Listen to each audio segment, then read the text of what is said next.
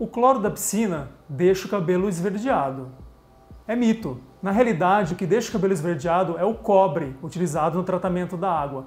Ele reagindo com as proteínas do cabelo, principalmente dos cabelos mais claros, loiros ou tingidos, deixa a coloração do seu cabelo esverdeada.